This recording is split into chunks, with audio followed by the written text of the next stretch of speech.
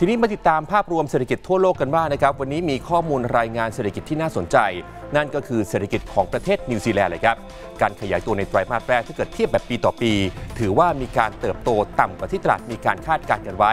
และถ้าเกิดเทียบแบบไตรมาสต่อไตรมาสเศรษฐกิจมีการหดตัวครับ สาเหตุสำคัญมาจากเรื่องของสถานการณ์โควิด -19 ภายในประเทศที่แรงกว่าที่คาดการณ์กันไว้ ขณะที่เงินเฟ้อก็พุ่งสูงนะครับ เป็นปัจจัยที่ทำให้ธนาคารคารกลางของเขาเนี่ยต้องมีการเร่งรัดการขึ้นดอกเบี้ย ซึ่งก็ไม่เป็นผลดีต่อภาพรวมเชิงเศรษฐกิจนั่นเองครับ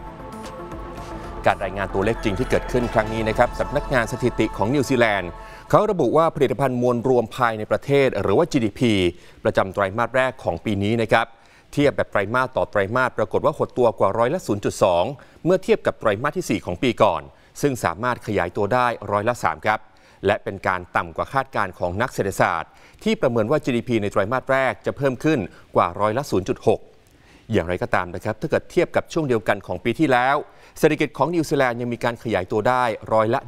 1.2 แต่ว่าตัวเลขตรงนี้ครับ ยังถือว่าต่ำกว่าที่ตลาดมีการคาดการไว้ ว่าจะขยายตัวได้ร้อยละ 2.4 ตามที่นักเศรษฐศาสตร์มีการประเมินกันไว้ครับ การหดตัวของ GDP นิวซีแลนด์ในช่วง 3 เดือนแรกของปีนี้ เกิดขึ้นหลังจากที่โควิด -19 ระบาดไปทั่วประเทศเป็นครั้งแรกทำให้หลากหลายอุตสาหกรรมต้องประสบกับปัญหา ในการขาดแคลนพนักงาน รวมถึงกลุ่มลูกค้า เนื่องจากผู้คนต้องมีการกักตัวหรือว่าการทำงานจากที่บ้านนั่นเองครับ ขณะที่หลายฝ่ายนะครับมองว่าการชะลอตัวของเศรษฐกิจไม่น่าจะขัดขวางธนาคารกลางของนิวซีแลนด์ จากการขึ้นอัตราดอกเบี้ย เพื่อควบคุมเงินเฟ้อ ซึ่งนิวซีแลนด์เนี่ยนะครับเขามีการคาดการณ์กันว่าเงินเฟ้ออาจจะเร่งตัวขึ้น เกินกว่าร้อยละเในไตรมาสนี้ด้วยครับท่ามกลางความไม่แน่นอนทั่วโลกที่เพิ่มสูงขึ้น โดยนักเศรษฐศาสตร์บางคนเนี่ยมีการประเมินนะครับว่าความเสี่ยงของเศรษฐกิจนิวซีแลนด์อาจจะเข้าสู่ภาวะถดถอยในปี 2566 นั่นเองครับ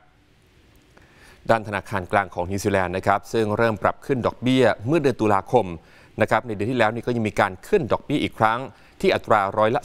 0.5 เป็นการขึ้นติดต่อกัน 2 ครั้งครับทำให้อัตราดอกเบี้ยแคชเลสนะครับอยู่ที่ร้อยละ 2 และยังมีการส่งสัญญาณว่าอาจจะต้องมีการปรับเพิ่มขึ้นเป็นร้อยละ 4 จุดนี้เองทำให้นักเศรษฐศาสตร์ส่วนใหญ่นะครับก็คาดการณ์กันว่าธนาคารกลางนิวซีแลนด์นะครับจะมีการปรับเพิ่มดอกเบี้ยอีกร้อยละ 0.5 ในการประชุมเดือนกรกฎาคมนี้ครับ